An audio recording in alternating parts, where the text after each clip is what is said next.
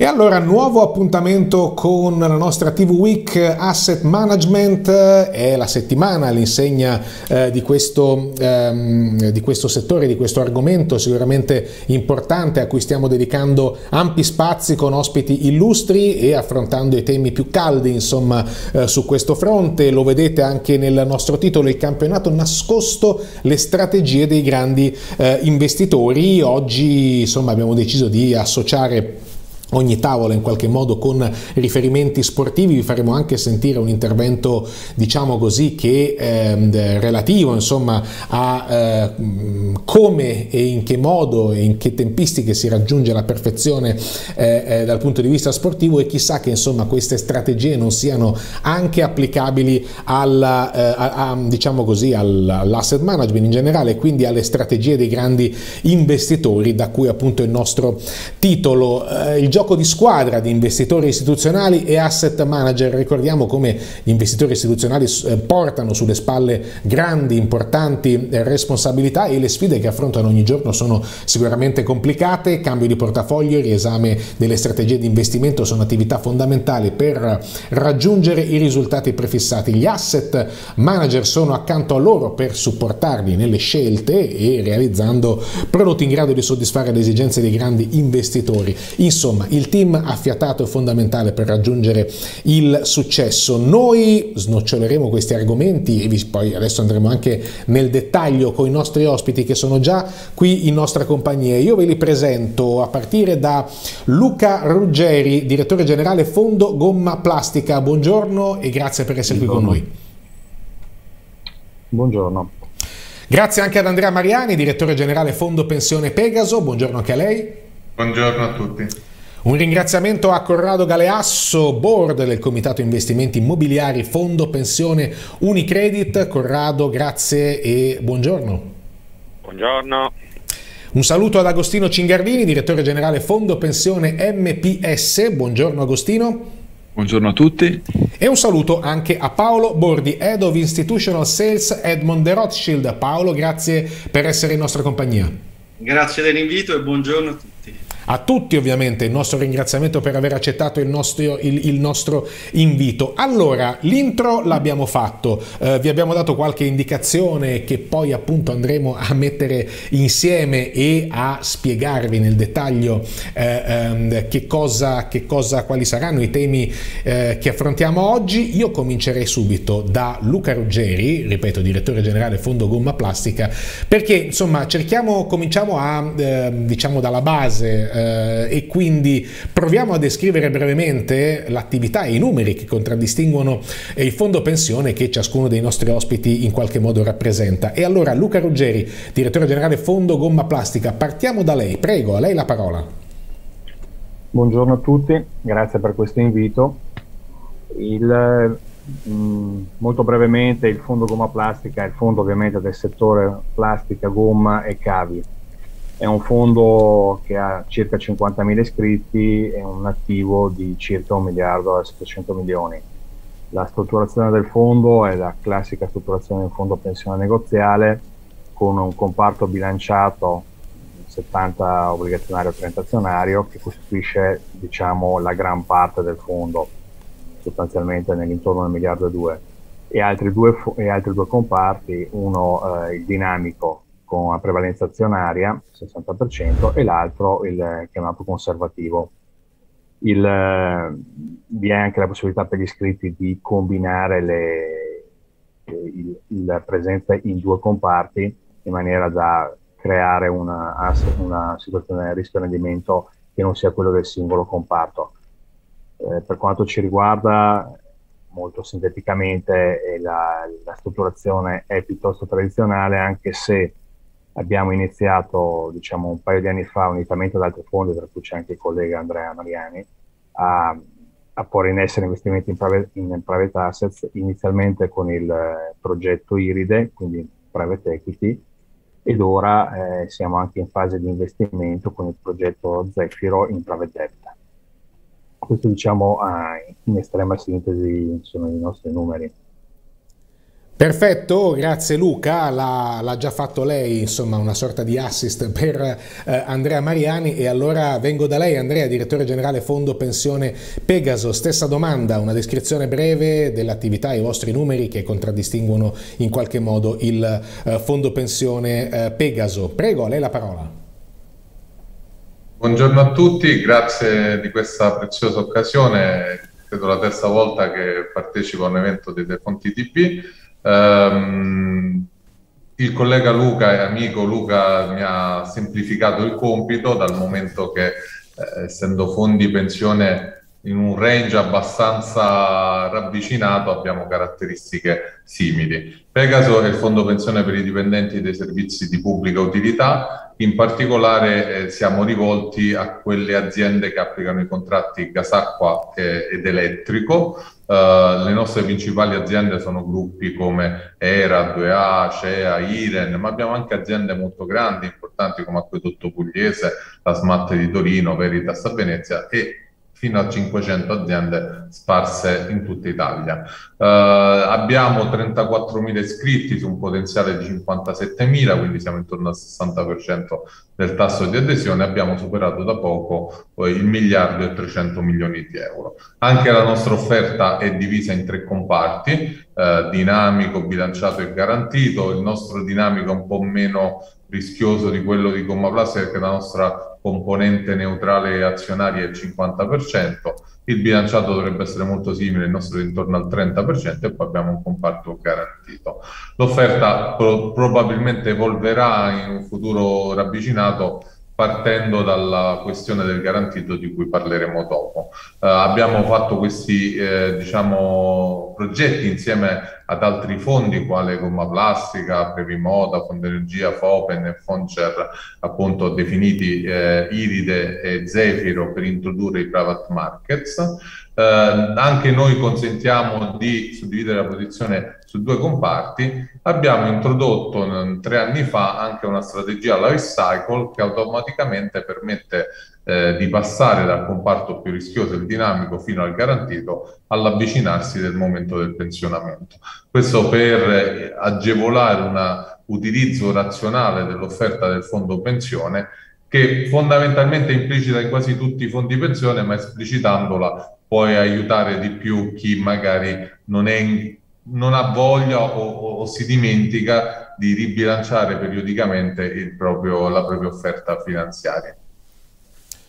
Perfetto, grazie Andrea e un ringraziamento anche a Corrado Galeasso perché è qui con noi nonostante insomma non sia possibile averlo eh, anche eh, in video ma per eh, insomma motivi, eh, motivi che ehm, ci ha spiegato e anzi un ringraziamento due volte proprio perché comunque è riuscito a essere a far parte della nostra tavola rotonda. E allora la stessa domanda anche a lei, board del Comitato Investimenti Immobiliari, Fondo Pensione Unicredit. Corrado. Bene, grazie ancora a voi per l'invito e eh, riassumo brevemente le caratteristiche del fondo Unicredit. Sì.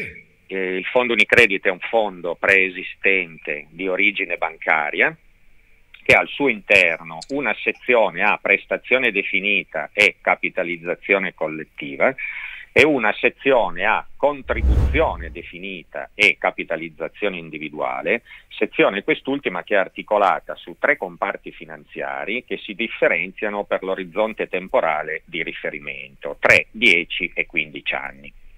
Brevemente le differenze tra le sezioni, la sezione a prestazione definita eroga una pensione integrativa rispetto a quella pubblica, mentre la sezione a contribuzione, analogamente a quanto avviene per i fondi negoziali, liquida invece il capitale, cioè il montante contributivo maturato, o in sotto forma appunto di capitale o sotto forma di rendita vitalizia a scelta dell'iscritto. Al 30 giugno 2021, gli ultimi dati aggiornati che abbiamo, il nostro fondo aveva più di 74.000 iscritti, di cui circa la metà pensionati. L'asset under management era di circa 5 miliardi, cui vanno aggiunti altri 400 milioni circa eh, che sono collocati dagli iscritti nel comparto garantito, che è gestito però da una primaria compagnia assicurativa.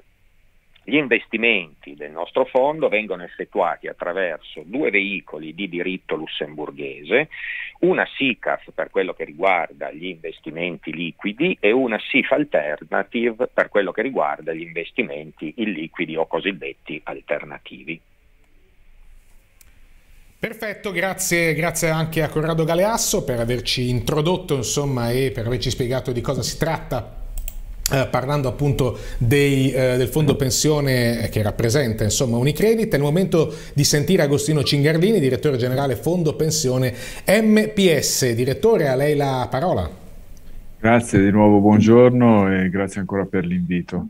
Il Fondo Pensione Montepaschi è un fondo preesistente e fa parte di alcuni dei fondi che garantiscono il welfare aziendale all'interno del gruppo Montepaschi. Sono nati nel 62 Oggi con due fondi principali gestiamo circa 27.000 iscritti con una composizione complessiva di circa 2 miliardi e mezzo di asset. La nostra allocazione è attualmente suddivisa in quattro linee per fondo con profili di, di rischio crescente, quindi da, un fondo, da una linea sostanzialmente obbligazionaria progressivamente sempre più esposta verso i mercati azionari.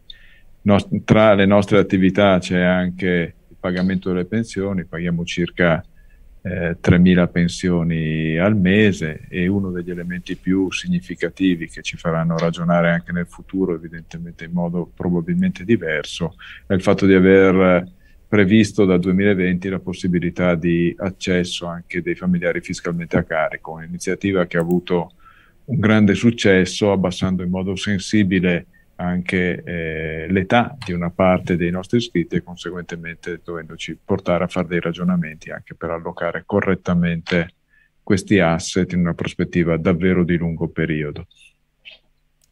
Beh, insomma, è evidente che il tema pensioni è anche uno dei più attuali in questo, in questo momento. Il tema delle pensioni è dentro il CDM, che è dentro, scusate, la manovra che deve essere approvato in CDM proprio eh, in queste ore. C'è anche una notizia dell'ANSA che insomma ci riporta che ci sono insomma eh, de, de, sotto 1000 euro circa 5,3 milioni di pensionati, un terzo del totale. Insomma, è un tema sicuramente attuale e noi parliamo anche di questo oggi in questa nostra tavola rotonda. Io adesso vado da Paolo Bordi, che è dove Institutional Sales Edmond de Rothschild ehm, e per chiederle questo, gli ultimi due anni sono stati molto particolari, i mercati hanno resistito bene agli shock della pandemia registrando solo lievi correzioni. Il peggio sembra finito, forse la fase in cui eh, i reali contraccolpi dell'emergenza eh, devono ancora iniziare e lo stiamo vedendo ad esempio in Europa eh, in cui eh, c'è un'inflazione schizzata nelle ultime settimane che può mettere i bastoni tra le ruote a una solida ripresa e ripartenza. Insomma, un contesto di incertezza, di stress. Le strategie di lungo periodo in questo senso sicuramente possono mitigare i rischi. Tra queste, le strategie decorrelate mh, potrebbero essere le più lungimiranti. Ecco, secondo lei in questo tipo di strategia. Questo tipo di strategia è effettivamente una buona scelta per chi come, e qui torniamo ai fondi pensione, eh, hanno un orizzonte temporale lungo, i punti di forza di questo approccio eh, e l'approccio di Edmond Rothschild ovviamente negli investimenti di questo tipo. Paolo, a lei la parola. Allora, provo a rispondere in questa maniera. Se, se teniamo conto che solo il 30% del peso azionario globale contribuisce per circa il 90% del rischio totale dei fondi pensione. È chiaro che lo sforzo va indirizzato verso gli investimenti decorrelati alle borse mondiali. E in effetti l'esempio all'estero dei fondi pensione già sviluppati è proprio quello che eh, mostrano una diversificazione del rischio azionario con degli investimenti in attività reali, ovvero l'immobiliare, commodities e le infrastrutture.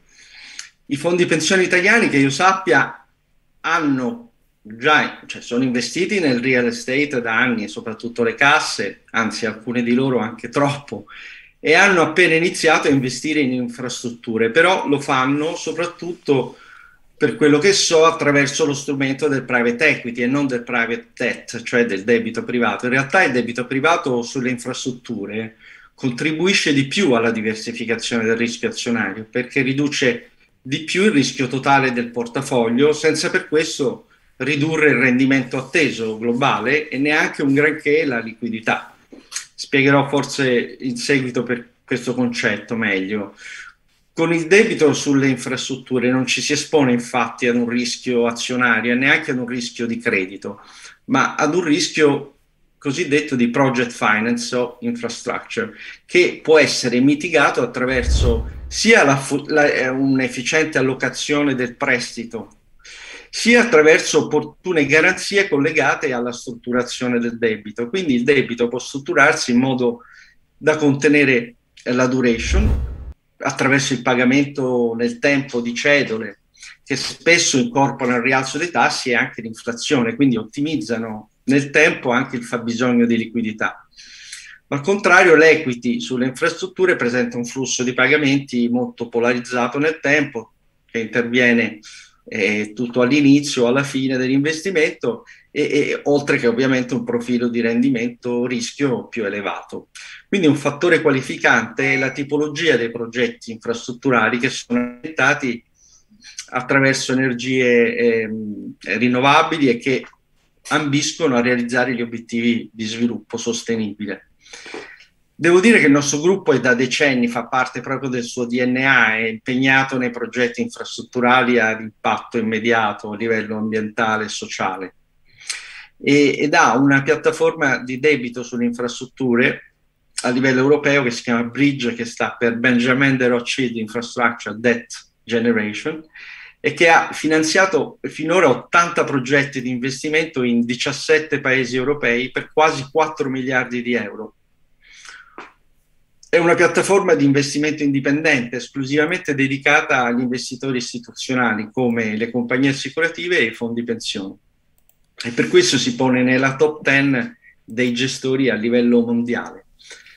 Basti pensare che nel corso di quest'anno il nostro fondo di debito sulle infrastrutture, che è arrivato alla quinta generazione ha già raccolto un miliardo e 300 milioni, suddiviso in due comparti, uno di debito senior e l'altro subordinato, con un rendimento obiettivo rispettivamente del 2,5 e del 5,5%. Ecco, questa è testimonianza del fatto che eh, noi siamo molto attivi eh, nell'asset management istituzionale e soprattutto disponiamo di un corredo molto adatto alla decorrelazione del rischio azionario che è quello prevalente nei fondi pensione. Beh, insomma, abbiamo cominciato già a mettere un po' di argomenti sul tavolo, quindi grazie per questo primo giro che ricomincio, facciamo ricominciare da eh, Luca Ruggeri perché, insomma, eh, lo abbiamo detto adesso proprio con Paolo Bordi di come questi due anni la situazione sia cambiata e conosciamo anche i motivi ehm, e anche quali possono essere, insomma, le strategie per affrontare questi momenti. E allora la domanda è come avete affrontato questa situazione dal punto di vista delle strategie strategie di investimento, le asset class che avete magari maggiormente utilizzato durante eh, eh, l'emergenza eh, della pandemia e come è cambiato l'asset location in questi ultimi mesi. Luca Ruggeri, direttore generale Fondo Gomma Plastica, riparto da lei, prego. Eh, prima eh, un brevissimo passaggio sulle, sulle, conseguenze, per così dire, della, della pandemia inizialmente eravamo estremamente preoccupati per la parte finanziaria, ma anche per la parte contributiva, aspetto che qui magari no, non, è pre- non, è privilegiato, non è oggetto del suono della tavola, ma che a noi preoccupava molto. Devo dire che le imprese si sono comportate molto bene e visto che è un campione abbastanza rappresentativo del settore, sono 1500 le imprese iscritte, non abbiamo avuto impatti su significativi, anzi direi non abbiamo avuto proprio impatti sulla parte contributiva, quindi l'alimentazione del fondo è proseguita serenamente. Sulla parte finanza, eh, che era l'altro grande tema, eh, la reazione dei, delle banche centrali e degli stati è stata estremamente robusta e come tutti sappiamo ha consentito eh, di conseguire comunque ottimi risultati nel 2020. Da parte nostra non reputavamo opportuno in quel momento modificare la strategia significativamente. Ci sembrava che fosse anzi un momento di verifica della bontà della, della nostra allocazione. Di fatto, a posteriore, non possiamo, posso dire con la tranquillità che è stata la scelta giusta, anzi abbiamo eh, confortato gli iscritti dicendo loro di eh, tranquillizzandoli e evitando passaggi, switch improbabili nei momenti peggiori. Su un piano di più lungo respiro eh, la scelta è stata quella di, passa- di iniziare mh, ad allocare qualcosina sui private markets.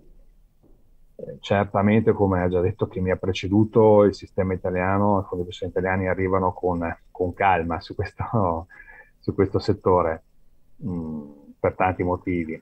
Però devo dire che le iniziative congiunte hanno contribuito, secondo me, a smuovere, a smuovere il mercato. E quindi eh, abbiamo iniziato con private equity, poi eh, siamo passati al private debt. In questo eh, siamo molto soddisfatti dell'andamento. Eh, su, abbiamo azzerato la J-curve, quindi eh, nell'arco di un anno, un ottimo risultato a mio avviso.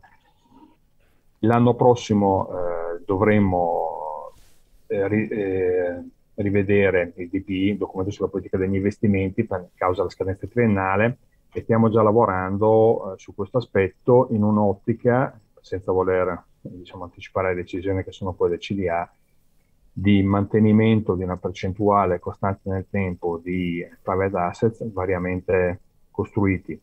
Cosa verrà poi deciso, in questo momento io non sono in grado di dirlo, però condivido l'interesse a livello personale sulle infrastrutture, non fosse altro che per gli investimenti che a livello europeo verranno, verranno effettuati in quel settore, quindi sarebbe il momento giusto per, per valutare, perché fino ad oggi, va detto, l'offerta in Italia era relativamente limitata e quindi ha costituito anche un freno al, allo sviluppo da parte alle... Diciamo... un attimo uh, Luca Ruggeri, mi perdoni, perché è, è, è, subentrata una musica di accompagnamento che per quanto piacevole impedisce di ascoltare le parole di Luca. Non so se è arrivato da qualcuno dei nostri ospiti in collegamento o altro, però vedo che non è più, non è più presente, quindi um, direttore uh, mi perdoni se l'ho interrotta pochi istanti fa, le restituisco, le restituisco la parola, ma veramente non riuscivamo più a uh, sentirla nessun problema, si figuri. Eh, niente, eh, l'ultimo passaggio riguardava diciamo, il futuro. Dobbiamo rivedere per la scadenza triennale il documento sulla politica degli investimenti e in questo, in questo contesto l'idea è quella di valutare un, eh, una maggiore presenza di private assets e anche una diversa composizione, eventualmente valutando altri settori di intervento. Chiaramente sarà poi il Consiglio d'amministrazione a, valut- a decidere cosa fare, però eh, a livello personale devo dire che le, le infrastrutture sono una, un settore estremamente interessante, anche visto i massicci investimenti che sono attesi proprio grazie al PNRR. Quindi eh, colgo, diciamo così, il suggerimento di chi mi ha preceduto su questo aspetto. E mm, questo insomma mi permette anche di dire che ovviamente se eh, al di là delle domande che vi rivolgo, poi se vorrete eh, integrare magari qualcosa di quello che ha, ha eh, detto l'ospite precedente a voi, insomma siete ovviamente liberi di, eh, di farlo e di ricongiungervi in qualche modo. Ehm, stessa domanda per Andrea Mariani, direttore generale Fondo Pensione eh, Pegaso, insomma strategie di investimento ehm, eh, che hanno permesso di affrontare una situazione sicuramente nuova e le asset class che avete maggiormente utilizzato durante l'emergenza e anche in virtù di quello che è cambiato e di come è cambiato l'asset location in questi mesi. Mariani, prego. Approfitto ancora della disponibilità del collega che ha, anticipato molte cose che avrei detto anch'io che poi non e quindi non le, bisogno di e quindi non le ripeto, non le, non le ripeto.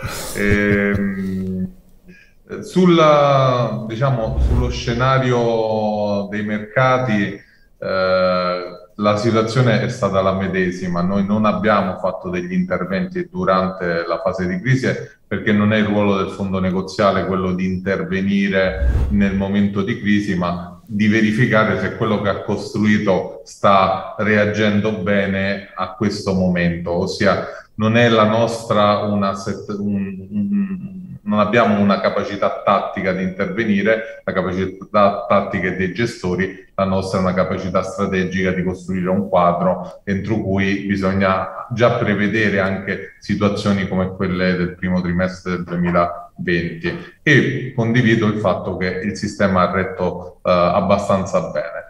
Poi abbiamo fatto degli interventi di manutenzione tra la fine del 2020 e inizio 2021 perché eravamo a metà della durata quinquennale dei mandati, quindi abbiamo aggiornato i benchmark, abbiamo fatto dei piccoli ribilanciamenti, ma non legati diciamo, al momento di crisi, ma a una gestione periodica dei nostri investimenti. Abbiamo questa scadenza triennale del DP che onestamente ormai devo dire aggiorniamo anche con frequenza annuale per quel triennio neanche ci si avvicina più tra gli investimenti in private market, manutenzione di metà mandato, ormai diventa un'attività molto più frequente di quanto lo avevamo previsto all'inizio. Eh, sicuramente faremo interventi un po' più rilevanti eh, fra la fine del prossimo, nel prossimo anno 2022 e nella prima parte del 2023, perché scadranno gran parte delle convenzioni e quando scadono le convenzioni c'è anche l'intenzione di verificare se c'è da aggiornare in modo più eh, incisivo l'asset allocation del fondo. In particolare partirà tutto dalla questione del garantito, perché noi scade la convenzione decennale del garantito e, e, il mercato dei comparti garantiti per i fondi contrattuali è cambiato radicalmente e questo comporta a cascata tutta una serie di riflessioni anche sugli altri comparti, perché l'offerta di un fondo pensione è un'offerta integrata quindi cambiando qualcosa su una parte è possibile che si debbano fare riflessioni anche sugli altri comparti. Eh, il tema delle infrastrutture, diciamo, eh, è precedente. Lo avevamo già previsto quando abbiamo introdotto i private markets, avevamo pensato di introdurre tre asset class, private equity, private debt e infrastrutture, 10% nel bilanciato e 15% nel dinamico. Questo diciamo, è il nostro orientamento come Pegaso, ora stiamo iniziando a riflettere come introdurre le infrastrutture. Quanto ha detto Paolo sul debito piuttosto che sull'equity è molto interessante, eh, sarà uno dei temi su cui riflettere. Non è escluso che si possa avere anche un approccio ibrido alle infrastrutture a cercare investimenti che tengano conto sia di private debt, eh, sia di debito sia di equity, per diversificare anche questo tipo di eh, investimento. Um, cosa dire? Uh, in termini prospettici, la cosa su cui siamo un po' uh, dubbiosi è capire come si esce fuori da una pandemia a livello di mercati finanziari. Ossia, l'intervento molto importante delle banche centrali e dei governi uh, è stato efficace nel 2020. Lo potrà ancora essere in futuro con inflazione crescente, tassi di interesse crescenti, o anche questo tipo di put politica potrebbe incontrare i suoi limiti e se incontrerà i suoi limiti cosa succederà sui mercati finanziari.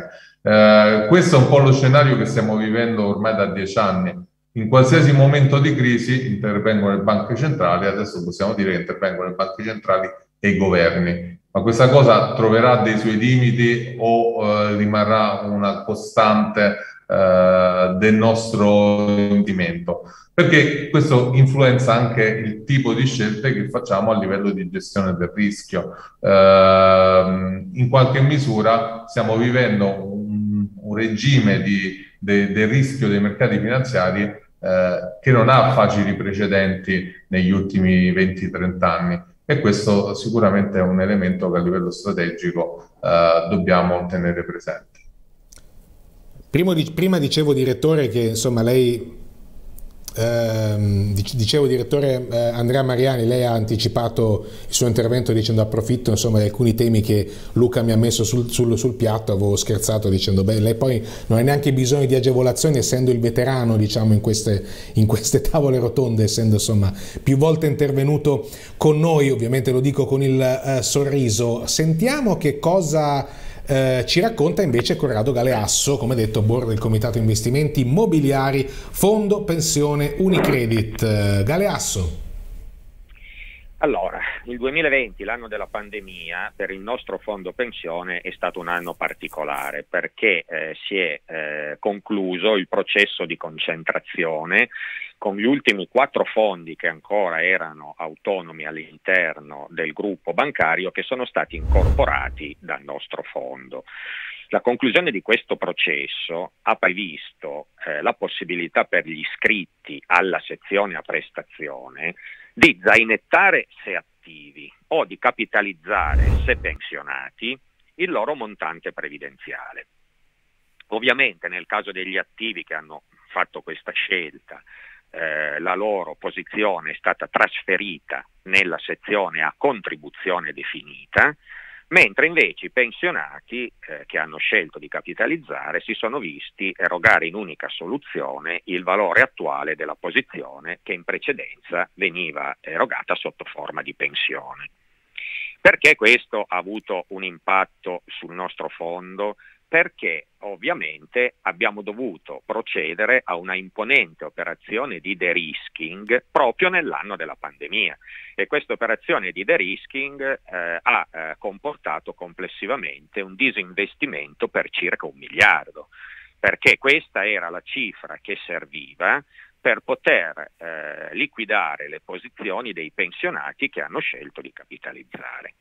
Come abbiamo fatto in un anno complicato per i mercati a eh, ottenere questo risultato? Beh, principalmente abbiamo disinvestito dal mercato azionario, cercando ovviamente di farlo nel periodo in cui dopo eh, i mesi di marzo-aprile, quando le quotazioni erano precipitate, mano a mano che si riprendevano cercando di andare a intercettare i momenti buoni per poter appunto creare questa liquidità. La parte restante ce la siamo procurata vendendo gli ultimi immobili che avevamo ancora in gestione diretta. Quindi noi nell'anno 2020 in realtà quali asset class abbiamo, eh, siamo andati a popolare? Beh, eh, con la liquidità che ci siamo procurati abbiamo investito nei subfund, eh, noi abbiamo i subfund perché come ho detto in premessa gli investimenti avvengono tramite eh, una SICAF, all'interno della quale ci sono sette subfund.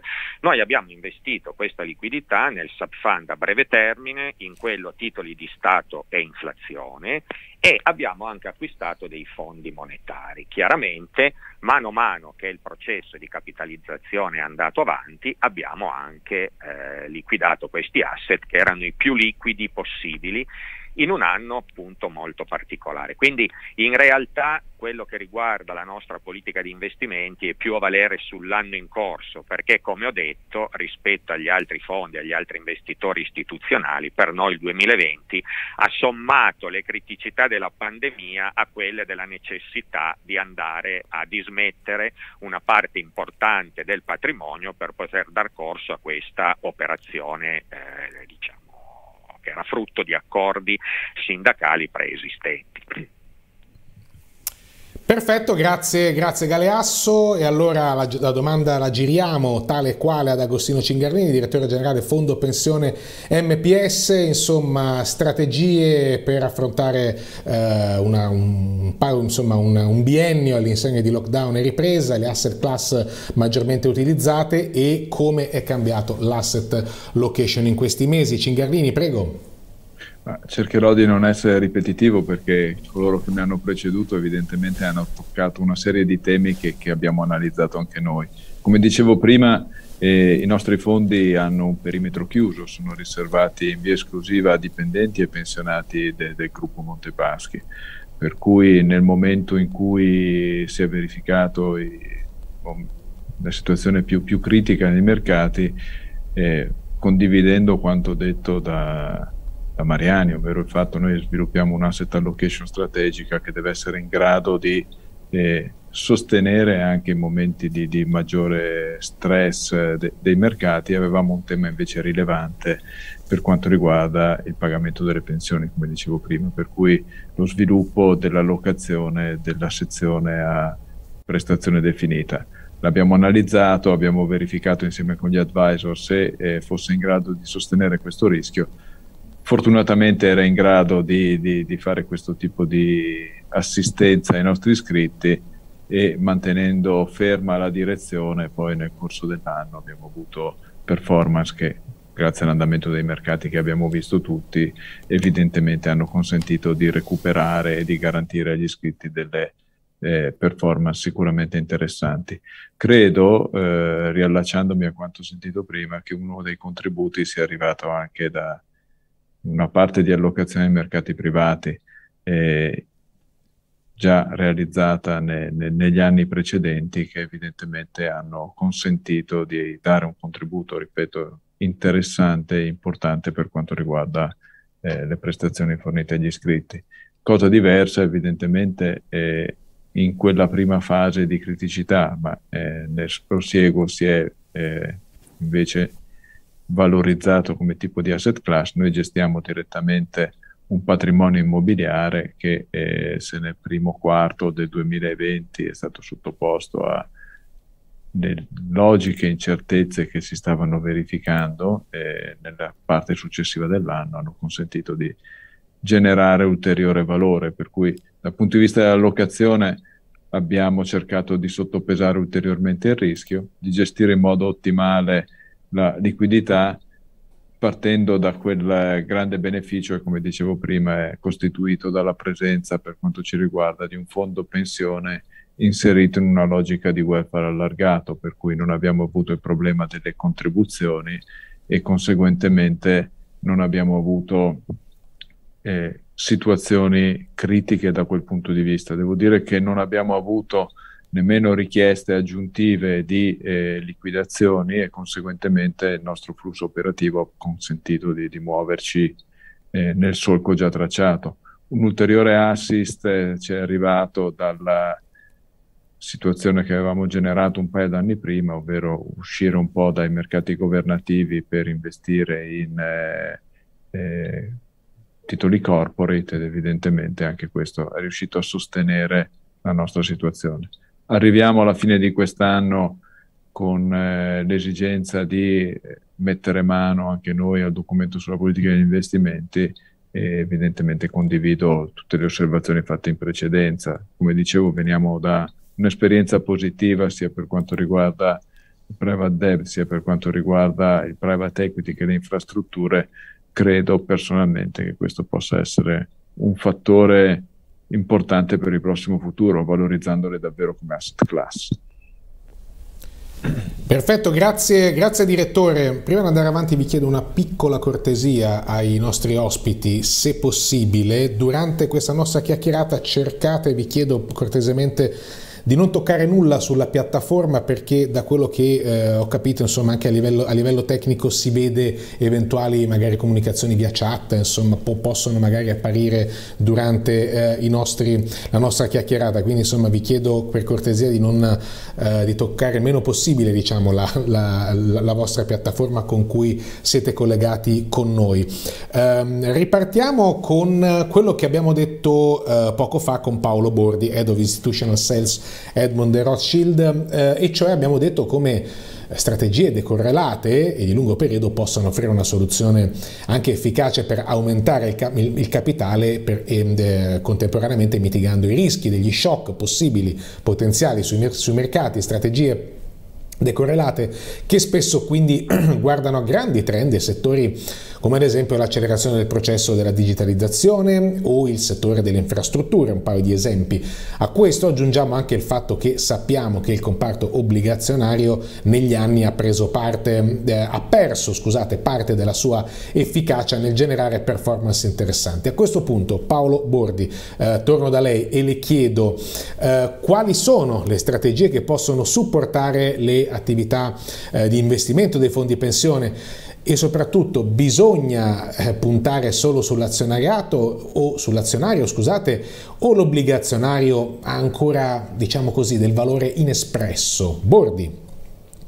Beh, dunque, la componente obbligazionaria in un fondo pensione è sempre utile, tanto più che poi sì. oggigiorno le valutazioni di borsa non è che siano così attraenti in termini di price earning quindi quello che si può fare nel breve e medio termine, quando soprattutto come, come oggi le attese sul rialzo dei tassi e dell'inflazione sono importanti, è quello di trovare all'interno del mercato del reddito fisso una strategia più flessibile di gestione che, e non essere troppo inchiodati ad un benchmark.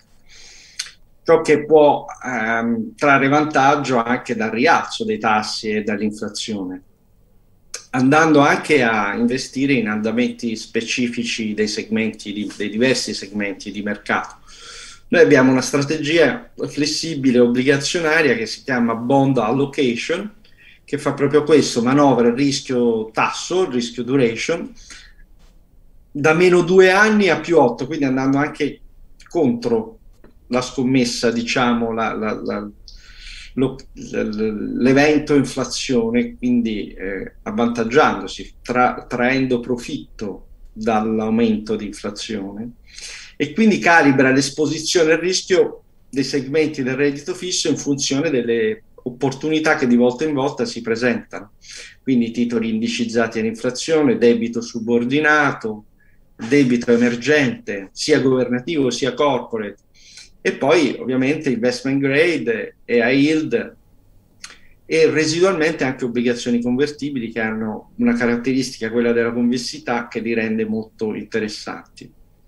Quindi nell'ambito di una strategia del genere la componente controllo del rischio è un ingrediente fondamentale del processo di investimento. Infatti in una strategia del genere il gestore fa quasi ogni giorno dei test di stress sui diversi possibili scenari, un'adeguata analisi sulla liquidità del portafoglio, monitorando il VAR, il value at risk su base giornaliera e eh, una scomposizione anche della, del rischio ex ante su, su tutte le componenti del portafoglio del reddito fisso. Quindi questa è un po' una maniera di, di trovare eh, profitto da un andamento che si prospetta molto difficile su fixed income.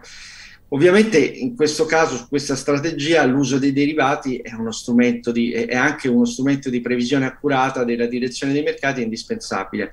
E noi sappiamo che l'uso dei derivati spesso nei fondi pensione eh, deve trovare posto in modo, eh, cioè si deve declinare con le disposizioni di legge. Quindi noi sappiamo che questa strategia è eh, di fatto può trovare posto nei fondi pensione e nell'ambito dell'efficiente eh, uso eh, dei derivati e ehm, così facendo eh, si riesce veramente a manovrare la duration che per esempio oggi noi l'abbiamo a, a due anni e mezzo quando solo otto mesi fa era a sei anni, a sei anni e mezzo.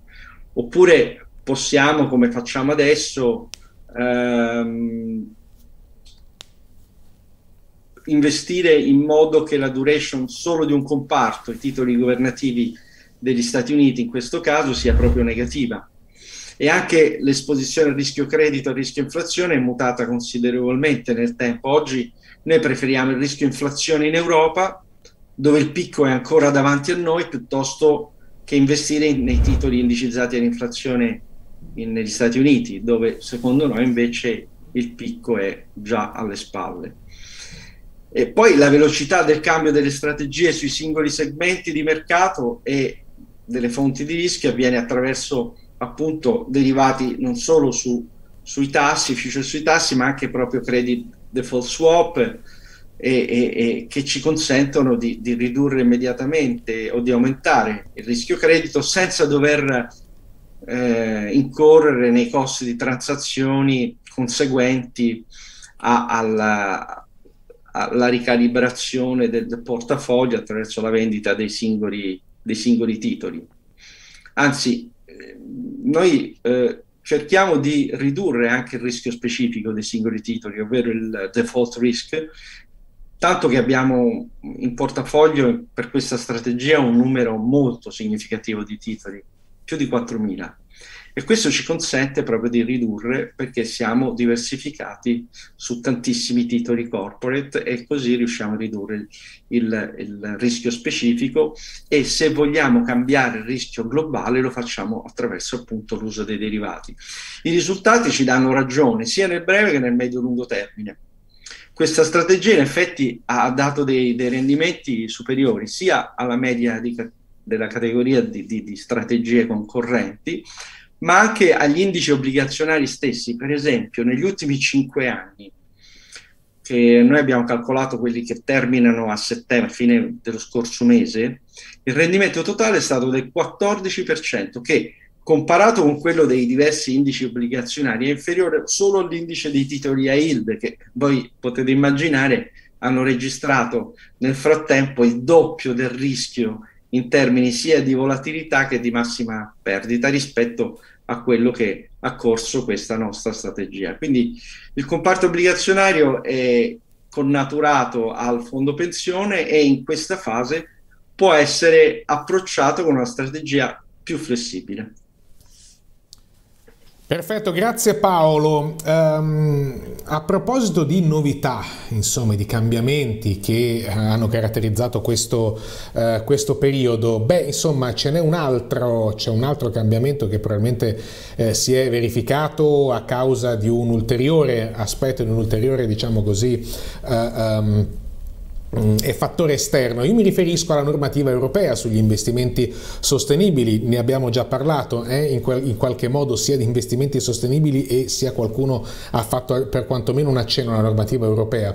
Questa normativa ha portato, come dicevo a proposito di grandi cambiamenti, una eh, sorta di piccola grande rivoluzione da parte delle società di asset management e quindi la domanda è, e riparto da Luca Ruggeri, direttore generale Fondo Gomma Plastica, speriamo che eh, la musica insomma, non si sovrapponga ancora una volta, ma ripeto insomma, non, è, non è dipeso da, eh, da, lei né da nessuno. Eh, dicevo, eh, questa normativa ha avuto un impatto anche sulle vostre strategie di investimento oppure no? Prego Ruggeri, prego direttore. Diciamo che il tema degli investimenti ESG era un tema che era già all'attenzione del, del, fondo da tempo. È da qualche anno che nell'ambito della reportistica interna che viene prodotta dalla, dalla funzione finanza e inviata al CDA avevamo un'analisi del, del rating ESG delle, del portafoglio. I limiti di questa analisi erano dati dal fatto che lo strumento che utilizzavamo non riusciva a coprire l'intero, l'intero portafoglio eh, detenuto.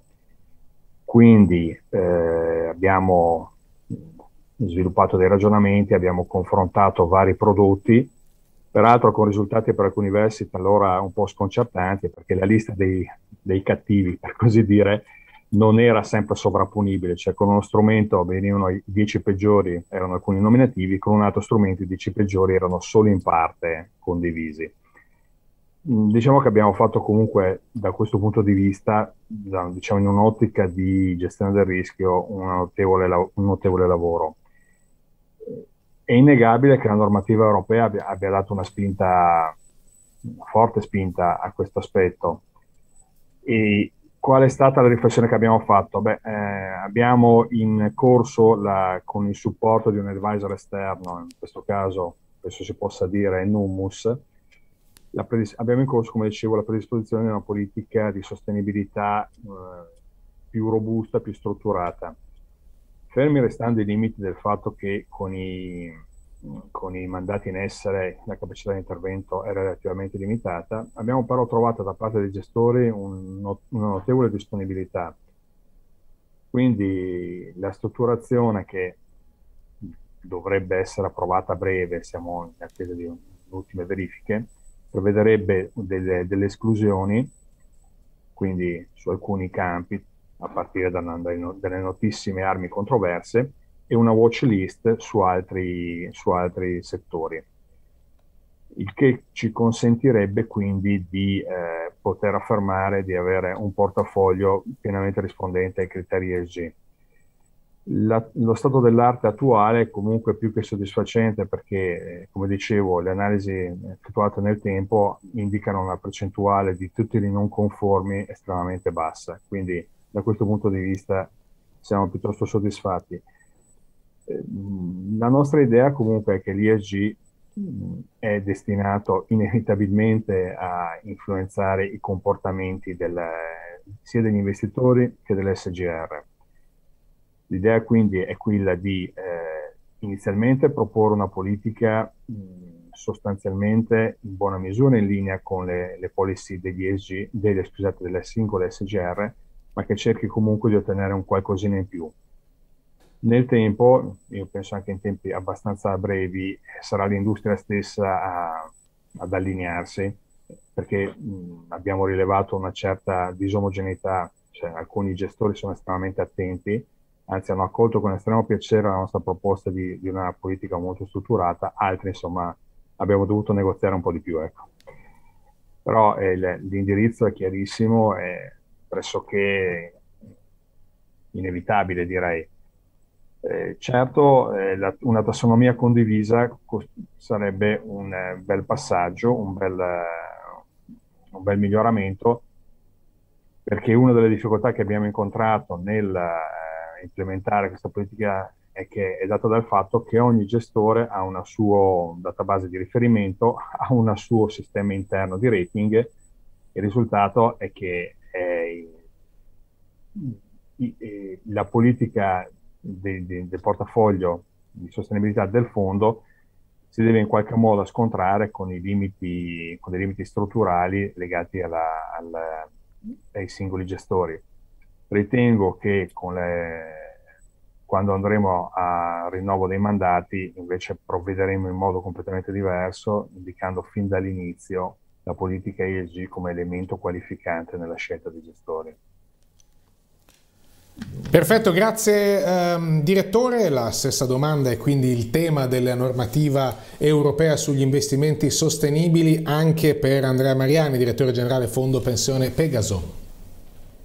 Innanzitutto è opportuno mettere a fuoco che la normativa europea su questi argomenti è stata a dir poco ipertrofica negli ultimi anni, mm. eh, a volte anche con eh, adempimenti e scadenze eh, non sempre coerenti e a volte che anticipano eh, i chiarimenti operativi. In particolare sull'FDR eh, sta per uscire il regolamento tecnico, eh, ma abbiamo dovuto fare una dichiarazione senza averlo, quindi qualcosa su cui bisognerebbe interrogarsi se ha senso eh, emanare norme ancora diciamo, in via di definizione.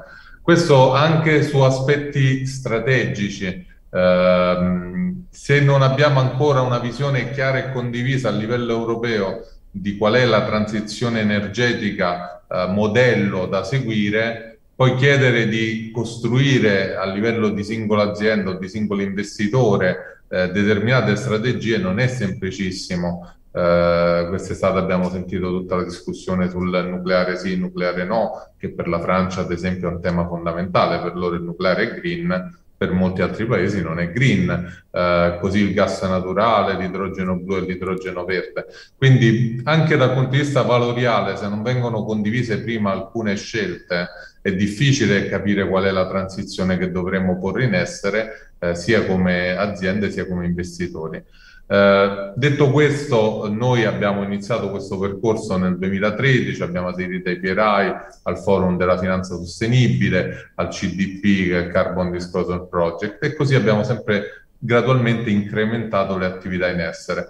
Nel 2018 abbiamo integrato in tutte le convenzioni un livello minimo di integrazione che è stato deciso insieme ai nostri gestori. Questo livello minimo di integrazione però varia da, da convenzione a convenzione e può essere più sfidante o meno sfidante in base ai processi gestionali che abbiamo posto in essere.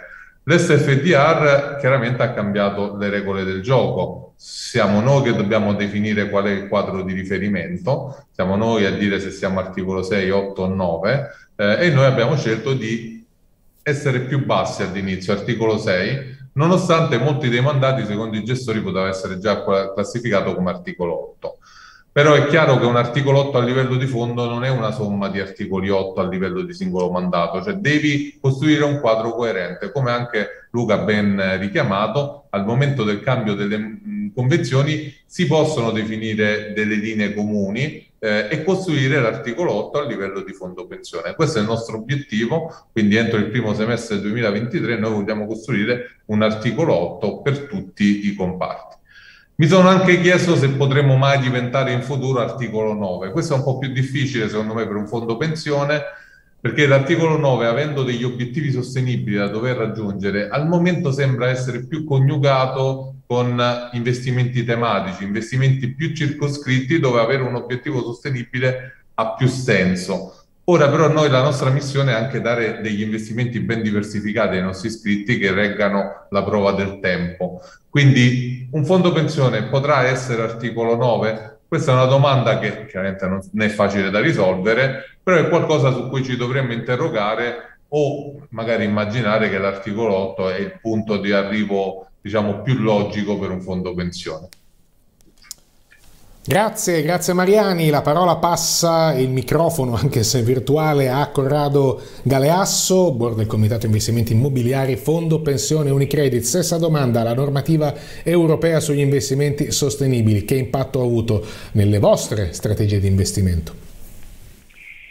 Bene, allora il nostro fondo già nel 2018 aveva approvato le linee guida per gli investimenti socialmente responsabili, promuovendo da quel punto in avanti solo più investimenti in prodotti che avessero i requisiti ESG. Oggi i due terzi del nostro portafoglio rispondono a questi criteri perché ovviamente si tratta di riqualificare il preesistente che invece non aveva questo tipo di orientamento. Poi nel 2019 il fondo ha aderito ai PRI e, e quindi eh, diciamo, si è allineato ancora di più a questa impostazione ma nell'anno che abbiamo trascorso, proprio l'accelerazione che la pandemia ha provocato sul processo di transizione, che è ancora ovviamente in embrione, da un'economia inquinante e, e poco attenta alle conseguenze per l'ambiente a una auspicabilmente più verde e sostenibile, proprio per questa ragione eh, in questi mesi abbiamo avviato un mandato con un primario operatore italiano per investire su asset sostenibili localizzati principalmente principalmente sul territorio italiano. Per fare qualche esempio, in energie rinnovabili, in infrastrutture, in mobilità sostenibile e nella silver economy.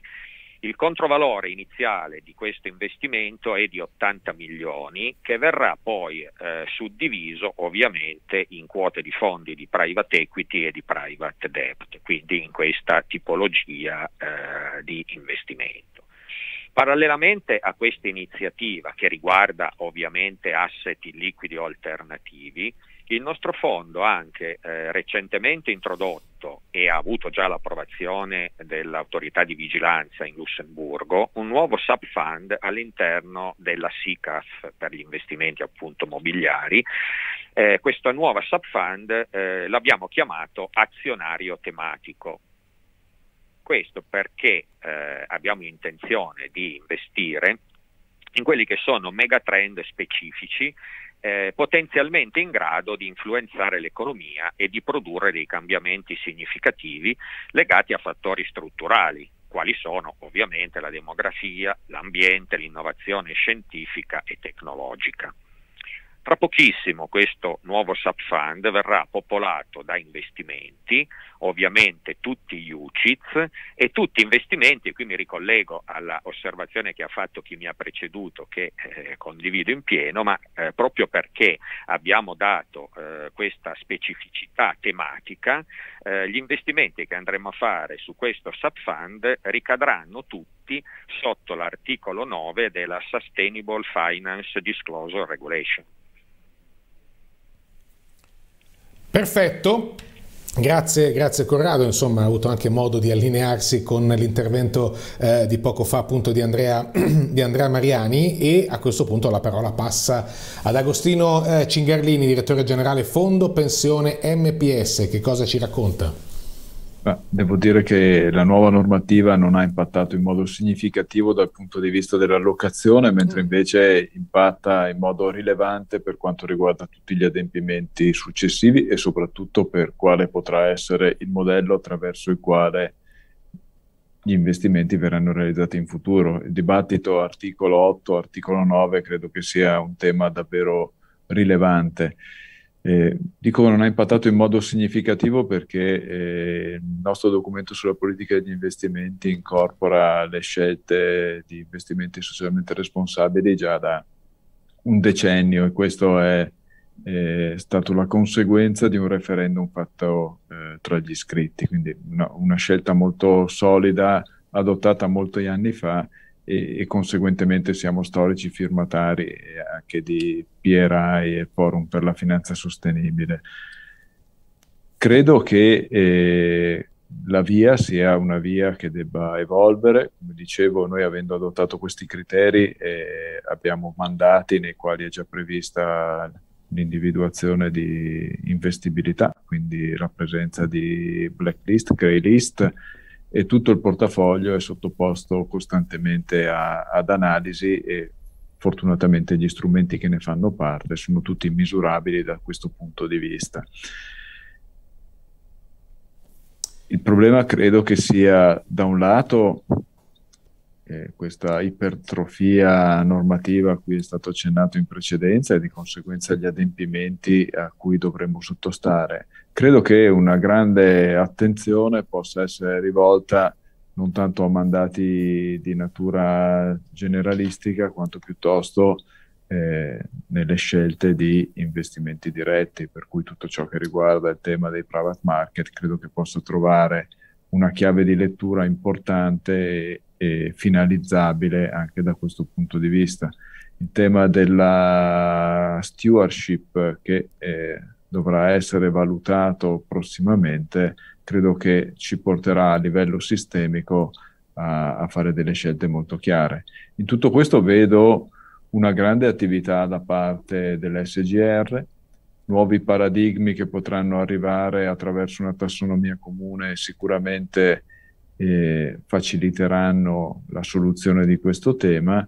Mi sembra che ci siano così tanti investimenti da parte appunto dell'SGR che questo diventerà il driver di allocazione sicuramente più eh, utilizzato e conseguentemente anche quello che potrà diventare potenzialmente più funzionale a gestire un fondo pensione su un orizzonte temporale di lungo termine, seguendo poi tutti gli obiettivi che il PNRR evidentemente definisce, ma provando a trattare anche quei grandi temi che eh, le dichiarazioni dalla dichiarazione di Parigi in poi evidentemente devono portarci a confrontare la nostra scelta con quello che sarà il futuro che vogliamo avere.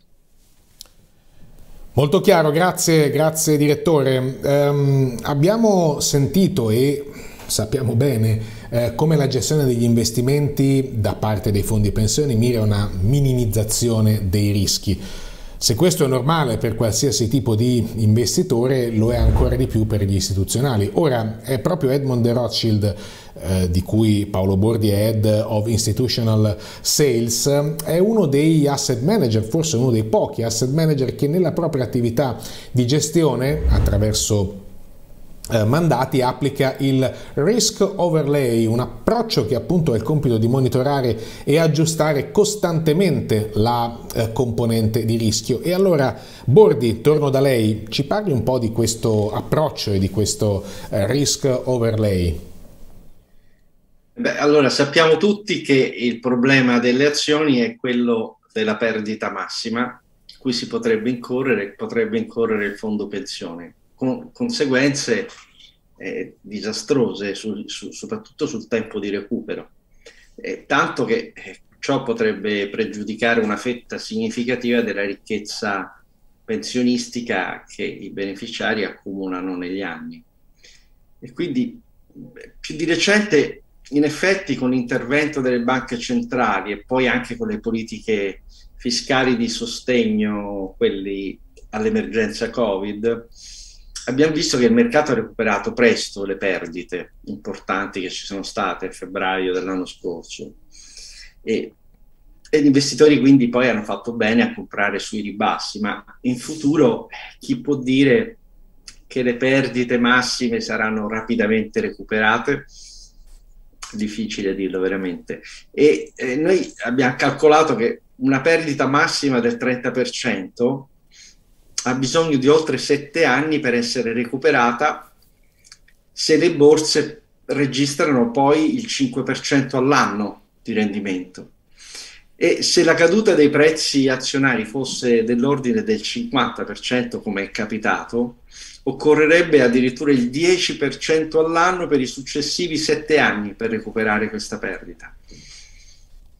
Quindi una strategia di copertura dinamica del rischio estremo, quello che si chiama tail risk in letteratura, eh, ambisce a frazionare la perdita e quindi a ridurre i tempi di recupero, facendo quindi ripartire il portafoglio pensionistico da un livello superiore dopo lo shock. Questo è l'obiettivo della nostra strategia di risk overlay. che direi più che rischio per lei, lo chiamerei piuttosto assicurazione dinamica del rischio estremo, perché noi guardiamo solo al rischio estremo in questo caso, non al rischio volatilità.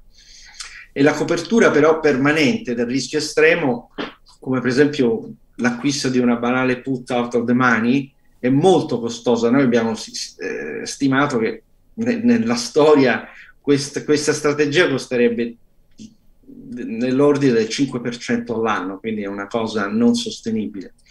Per questo i programmi eh, di copertura dinamica eh, del rischio estremo usano un insieme, blocchi di opzioni e su indici azionari, inclusa dei blocchi che vendono opzioni call, quindi si finanziano e permettono così di ottimizzare i costi di copertura.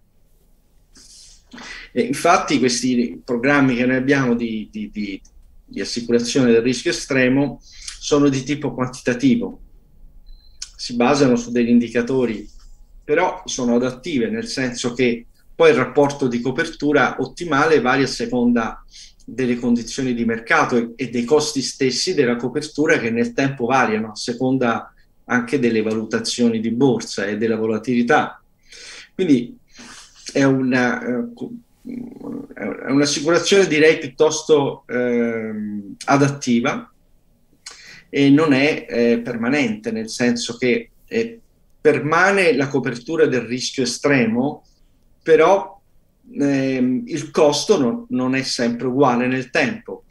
E I risultati del nostro programma su un portafoglio azionario globale come eh, un portafoglio con benchmark indice Morgan Stanley World e, e si dimostra che è, stato, che è costato 30 basis point all'anno, ma ha ridotto eh, la volatilità dal 17,6 dell'indice Morgan Stanley al 12,8 e la massima perdita che ha fatto l'indice Morgan Stanley negli ultimi 16 anni li abbiamo calcolati da quando ci sono le opzioni pubbliche, il prezzo delle opzioni, quindi ci permette di calcolare la strategia, e è stata del 55%, quindi noi l'abbiamo ridotta al 38% dal 55% che è stata la massima perdita del, dell'indice Morgan Stanley World.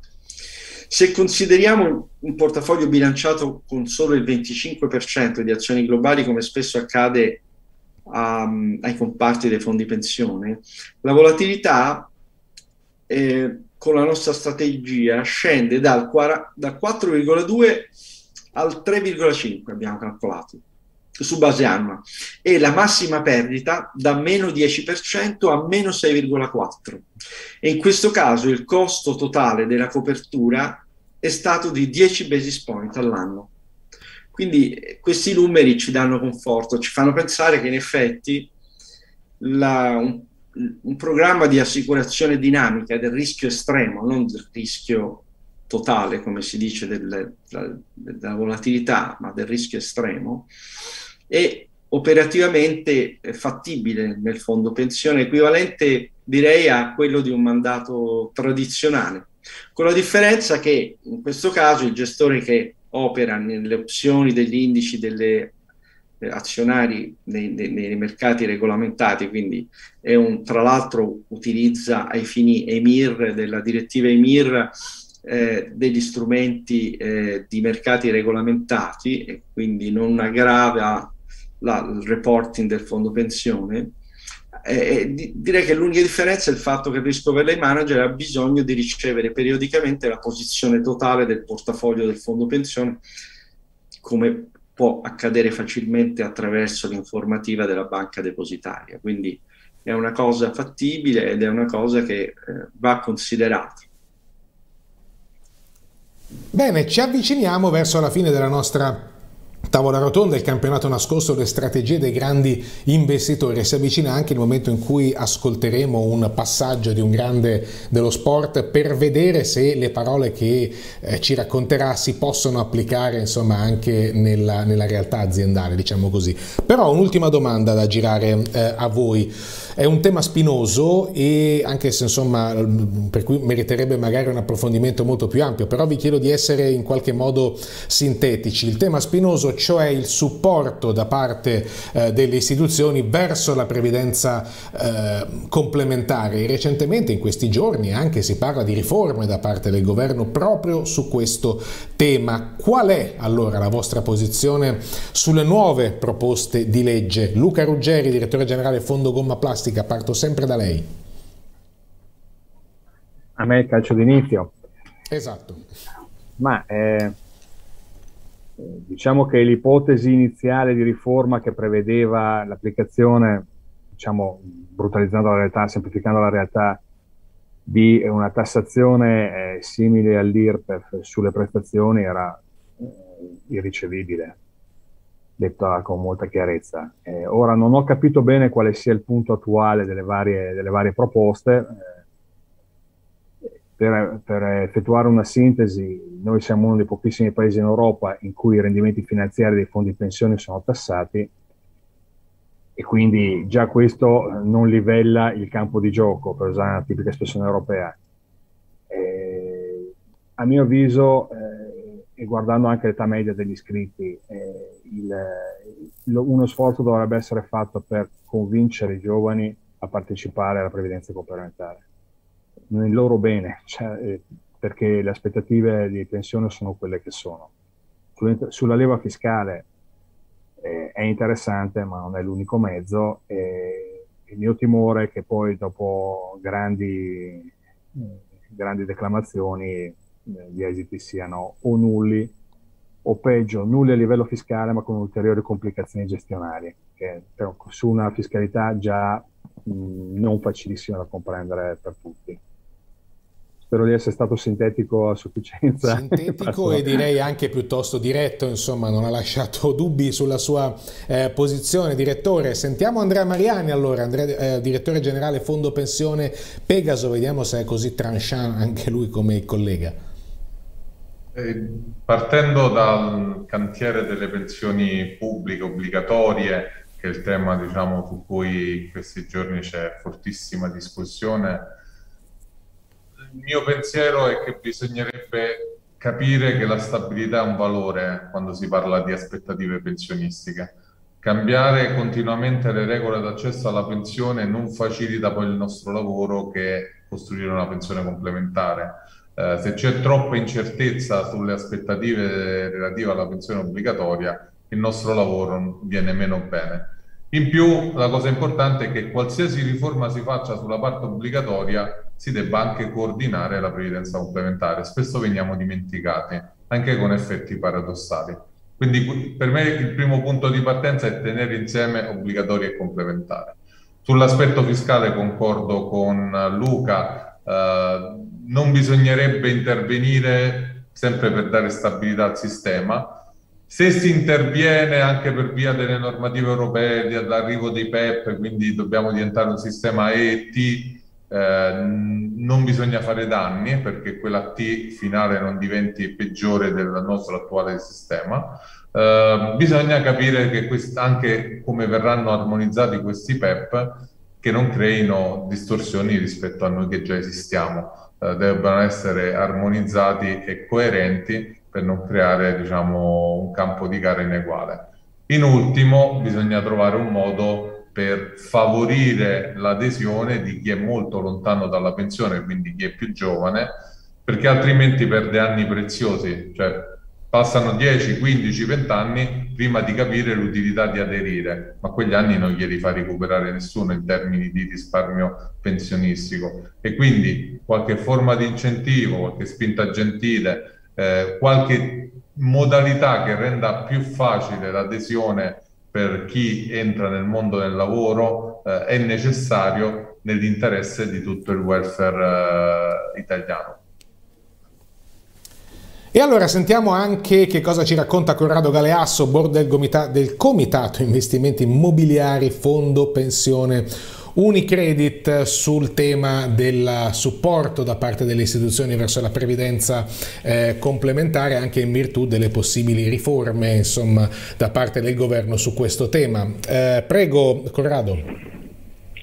Ma allora, premesso che sono assolutamente d'accordo con quanto è stato detto da chi mi ha preceduto, dall'amico Luca e, e anche dal direttore eh, di Pegaso per quello che riguarda la fiscalità, perché i tecnicismi non aiutano assolutamente EET, ETT, quello che conta è il risultato finale. Il risultato finale è che non da adesso, a mio giudizio, il legislatore è in grande confusione quando parla di previdenza complementare, perché da un lato si dice che bisogna favorire la previdenza complementare perché la pensione pubblica avrà tassi di sostituzione pari o inferiori al 50% ed è sacrosanto.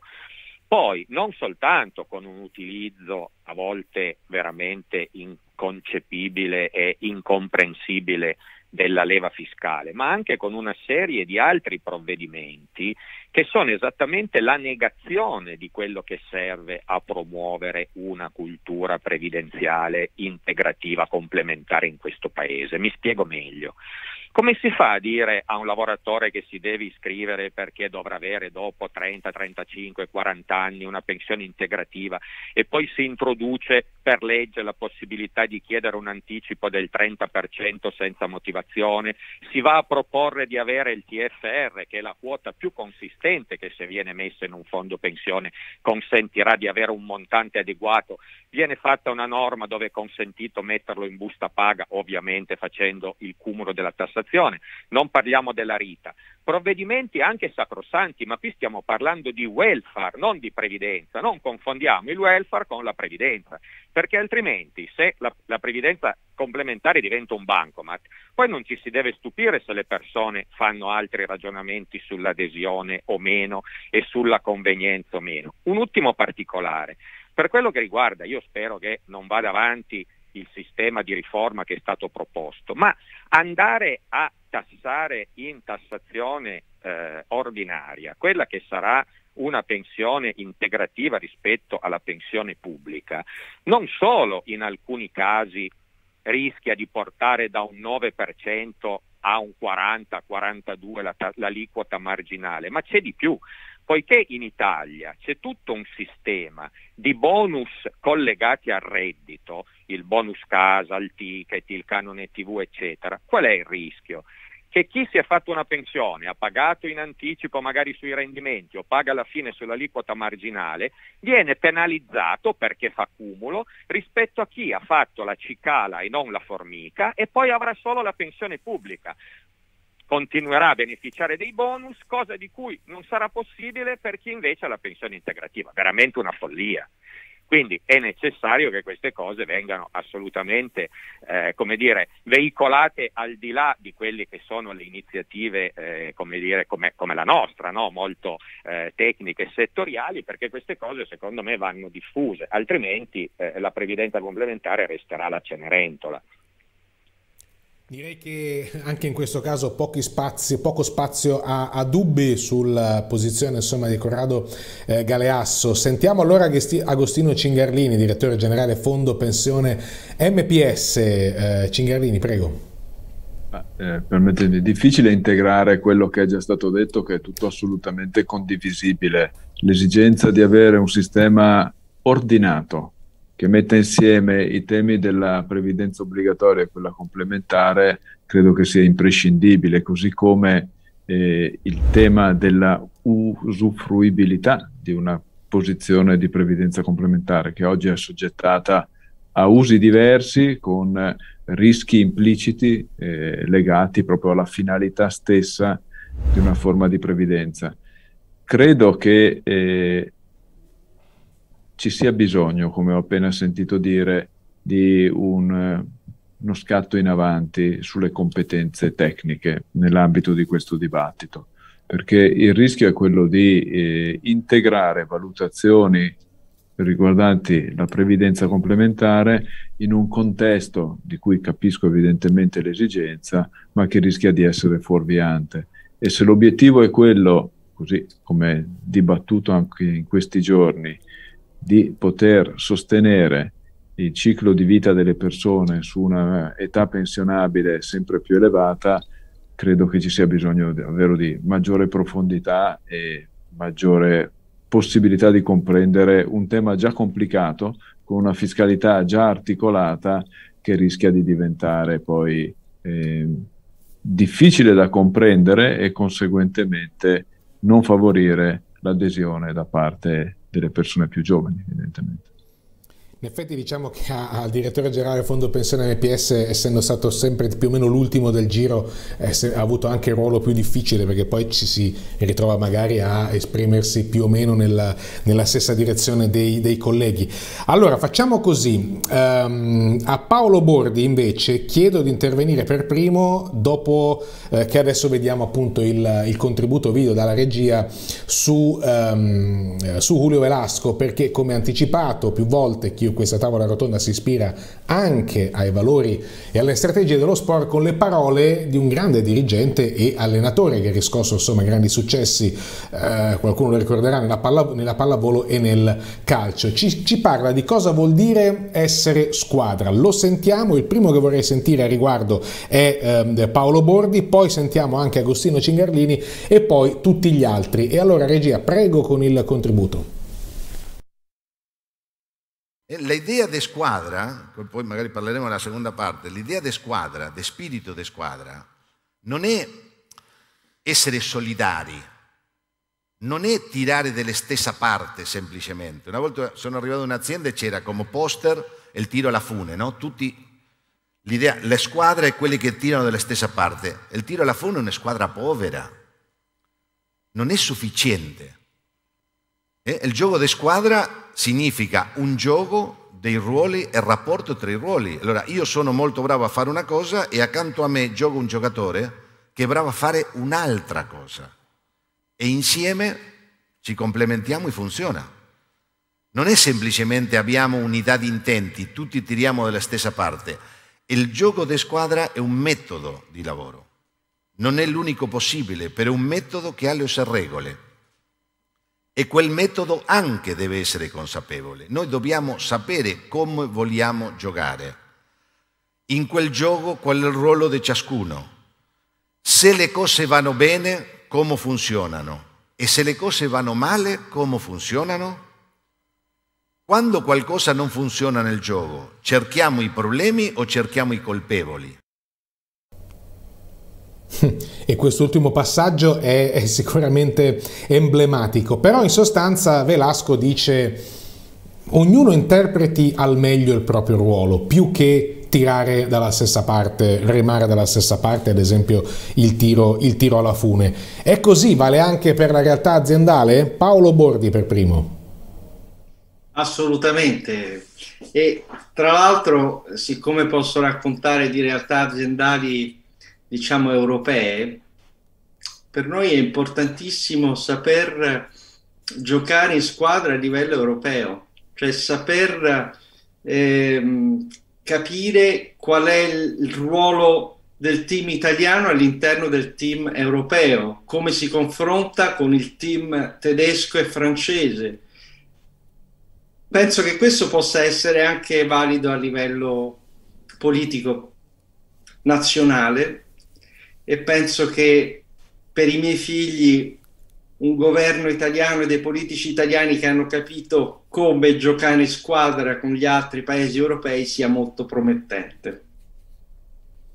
Bene, belli, bella, bella, riflessione quella di Paolo Bordi. Agostino Cingarlini, vengo, vengo da lei, è un, peraltro un concetto che può magari sembrare simile, no? quello lanciato da Velasco, eh, tirare tutti da remare dalla stessa parte, ognuno interpreti bene il proprio ruolo, però effettivamente una differenza, eh, una differenza c'è, anche ricordando il, il finale di passaggio, cioè eh, ci vogliamo cercare colpevoli o vogliamo cercare le soluzioni ai, ai problemi? Prego, eh, Cingarlini. Velasco è sempre mirabile, peraltro, in queste rappresentazioni eh, su che cosa sia una squadra e quali siano i ruoli. Credo che nella sua dichiarazione che il gioco di squadra è un metodo ci sia un po' l'essenza della, della filosofia che dovrebbe stare alla base di qualsiasi condizione nella quale lavoriamo in un sistema.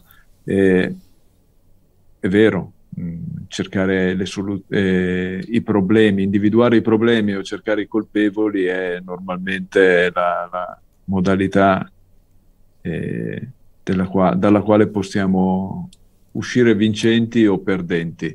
Se dobbiamo metterla nel nostro sistema e guardando le riflessioni che sono emerse questa mattina, credo che di questo gioco di squadra ci sia bisogno.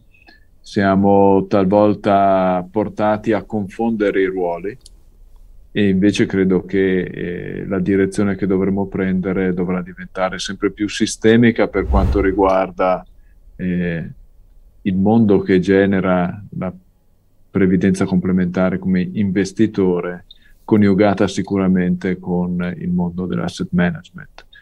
Il rischio è di stratificare le complessità, mentre credo che eh, sarebbe necessario andare a individuare le opportunità nella partita che ciascuno gioca esattamente nel proprio ruolo. E per fare questo, momenti come quello che stiamo tracciando questa mattina mi sembra saranno sempre più importanti per trovare una via di consapevolezza. Sentiamo Corrado Galeasso anche su questo, su questo, tema, non so se lei è capitato anche di insomma, fare il tifo per le squadre allenate da Julio Velasco, ma al di là di, insomma, di, eh, di questo piccolo dettaglio, insomma, la realtà aziendale come si, eh, app, come, come si, può applicare questo concetto anche a una realtà aziendale? Eh, Galeasso, prego. Certo, beh, io ero già, eh, ero già, grandicello quando Velasco portò un'Italia tecnicamente scarsa a vincere la medaglia d'argento ai mondiali a Roma, quindi direi che eh, da, da, quel punto di vista rimane un maestro insuperabile perché poi appunto per anni eh, ci fu una crescita ma lui raggiunse un risultato di eccellenza.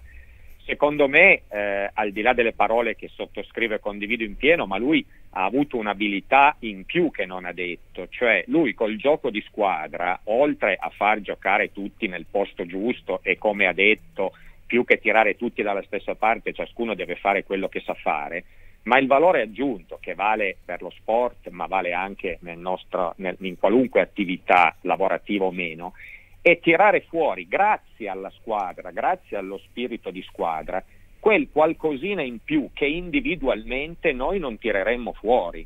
Questo è il vero valore aggiunto.